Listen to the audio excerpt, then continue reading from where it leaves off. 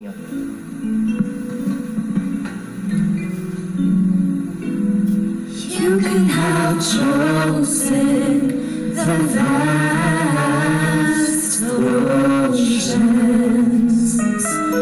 You could have chosen the glorious.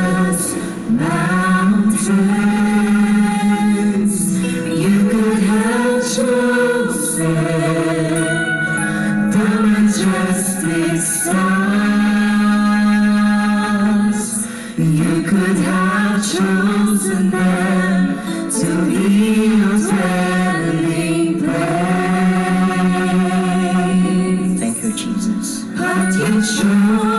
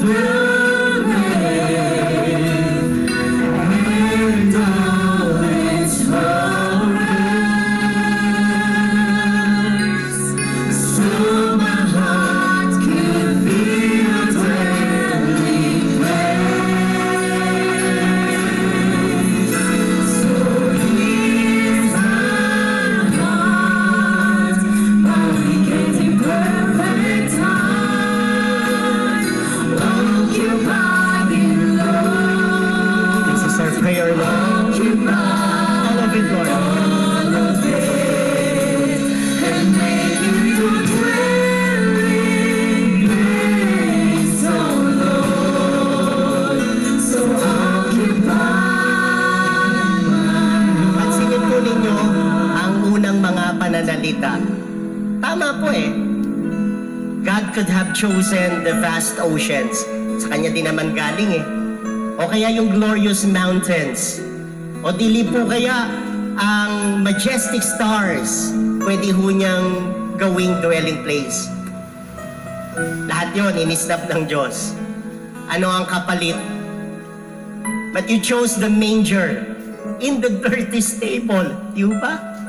Wala naman hong ipinanganak dito sa sabsaban ho, dirty stable. Pagkatapos, and you chose the cross and the crown of thorns. And then, Lord, you chose the grave and all its horrors. Why, Lord? So my heart could be your dwelling place. Ang pinakamaganda lang hong response para sa ginawa niya. So here's my heart my weak and imperfect heart. Occupy it, Lord. Occupy all of it and make it your dwelling place, O Lord. Titigil ho tayo panandalian sa ating pinag-aaralan. Tumayo po tayong lahat. And let's all sing this song. Gagawin lang ho nating panambahang awit sa Panginoon. You could have chosen, Lord.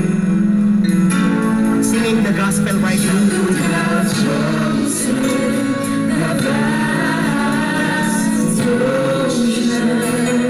could have chosen. You could have chosen the glorious mountains. You could have chosen the majestic stars. You could have chosen them to be your family. Let's declare the love and the goodness of Jesus.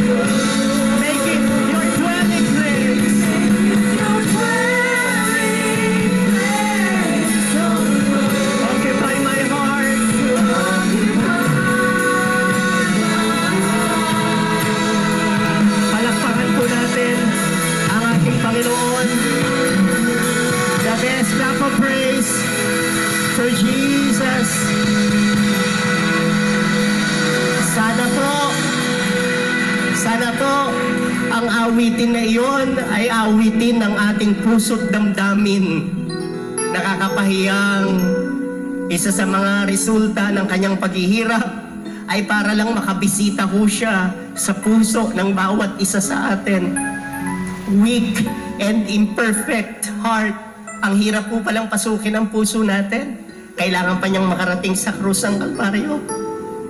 Sa pinakamasarap ay ang dalangin, So here's my heart. Pakilagay nga po ang kanang kamay sa puso again. Softly this time, please. So here's my heart. So here's my heart, my weakest and perfect heart. Occupy it. Occupy it, Lord. Occupy it. Lord. Make it your dwelling place. Make your dwelling place, Make it your dwelling place. Make it your dwelling place.